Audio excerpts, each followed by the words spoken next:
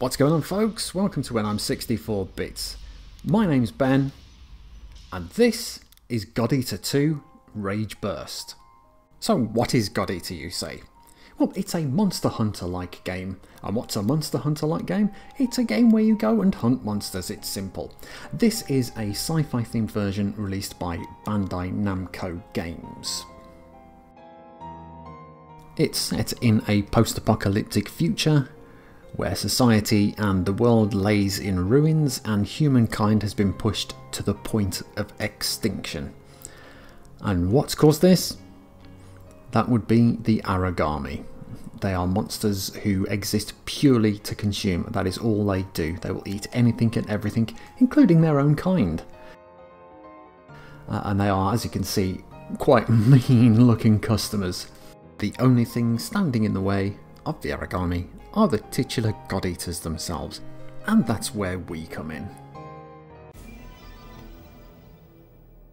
So now we're going to start a brand new game and we're going to create our very own God Eater.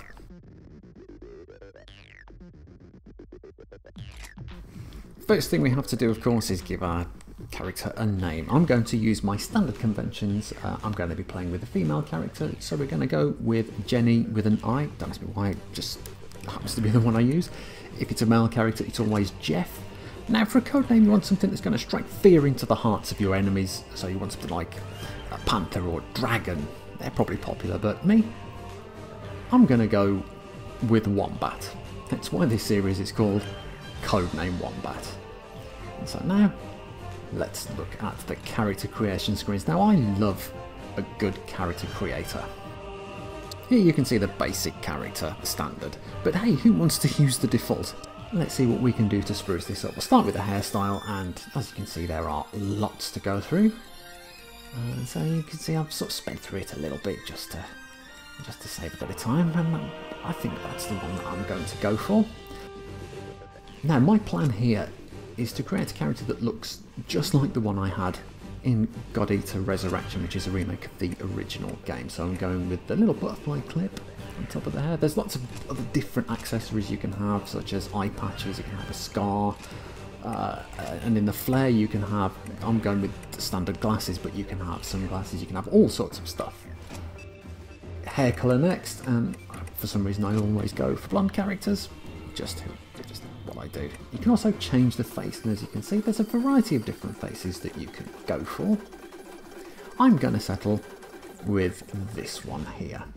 Now you can also change the facial expression that they have permanently, so you can have happy, angry, sad, super happy. I'm going to stick with the standard because it's just the better way of doing it. You can also change your eye colour and as you can see there's lots of different eyes to choose from but you can also change the type of the eye, the shape and everything. I'm going with that in green because that's nice. Uh, now I'm glad there's a nice range of skin colours to choose from because it makes it more inclusive so everybody can be represented on screen.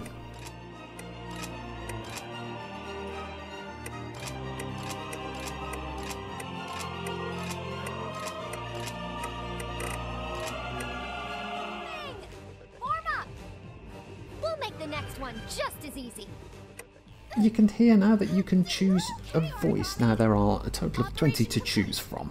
I'm not going to play all of them because there's a lot. Sorry, I don't see that happening. Must mend this. I've decided to choose this one because when you revive your teammates, you get this.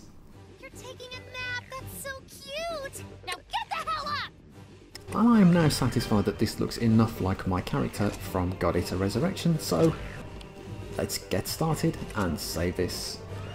On with the show.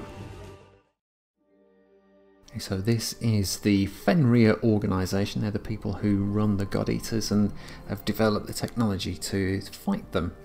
And so what we are going through here is a compatibility test to see if we're good enough to be a God Eater. And how do you defeat them? You use something called a God arc, which funnily enough is called a Jinki in the Japanese version of the game. Now the God arc itself is part Aragami because the only way you can defeat them is to consume the core, the, the, like their heart. Uh, and in, in order to do that, the God Arc has to be part Aragami to consume that part. And as you can see, it's quite a painful process to go through. The special thing about the God Arc is that it can transform from a melee weapon to a gun to a shield, so you don't have to choose one or the other, it transforms easily between them. Uh, and you can use different melee weapons and guns and shields depending on your playstyle, which we'll look at in a moment.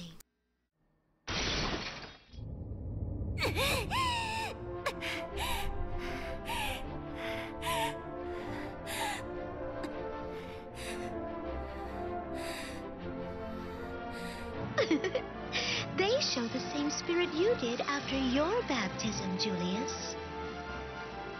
Congratulations! You have risen where others would fall. You have become a God Eater. Soon, the power that sings through your veins will be awakened. You will be welcomed into our elite special forces, the Blood Unit. Blood are my chosen soldiers, superior to all other God Eaters. But you don't have to fight alone. You have some AI comrades that you can take with you, and some of them include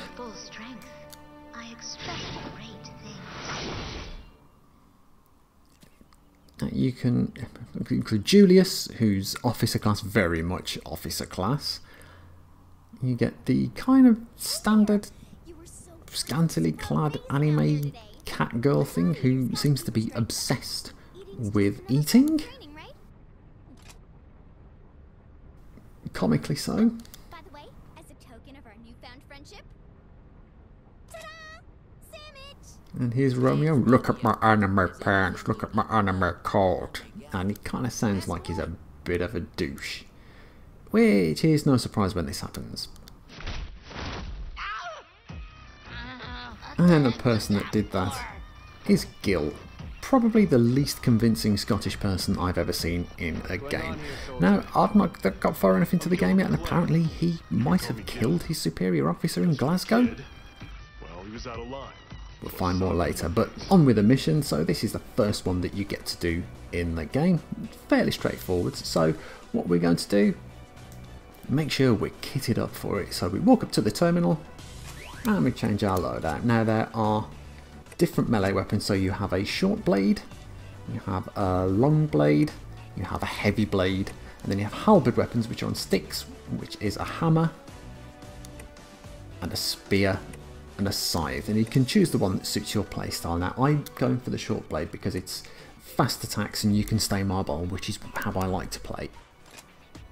You also choose a gun as well and the choices are between a sniper, an assault rifle, a blast weapon which is kind of like a rocket launchery thing I think, and a shotgun but sniper suits me better.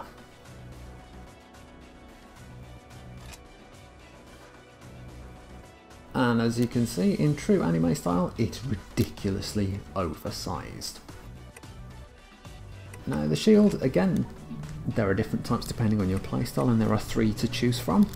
You have a buckler which is low defense but equips really quickly. You have a standard shield which is a bit more balanced and then a tower shield which gives you high defense but is slow to deploy which means you need to be a bit more careful. But uh, I'm going to choose standard shield. And let's go into battle. Now this is an Ogretail which is fairly simple so transform into a gun take a couple of pot shots to weaken him down a little bit when we run out of ammo which you can see is the green bar right at the top change to the sword and give him a slice and a slice and oh did you see that that is when you devour. As I said, that it's part Aragami, so that's what you have to do in order to rip the claws out. So you have a bit of a chomp, and then you stab, stab, stab. Now you'll see when you chomp down on the dead one, on the left hand side it says get. And those are parts that you can use to construct uh, new armour and new weapons. Uh, the, the bigger the monster, the more powerful the weapon you create. The more powerful weapon you create, first status steering the bigger things you can hunt going forwards. Aragami has gone silent. Nicely done.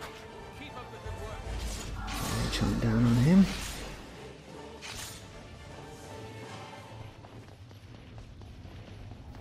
So here we go.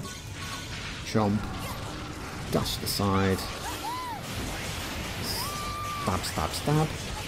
And he's done.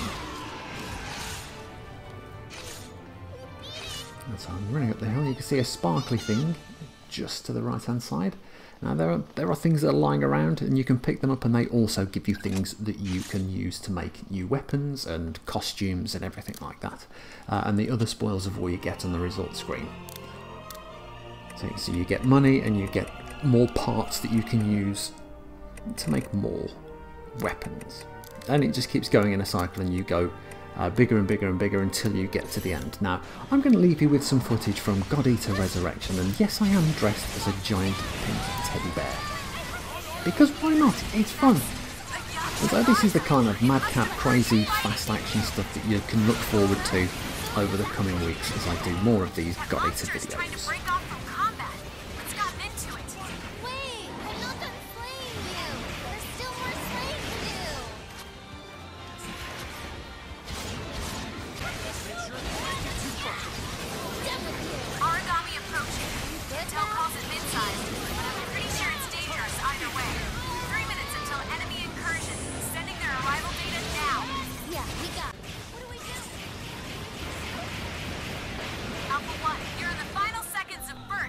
Now remember folks, if you've enjoyed this video, remember to hit that like button and subscribe to make sure that you never miss out on an episode.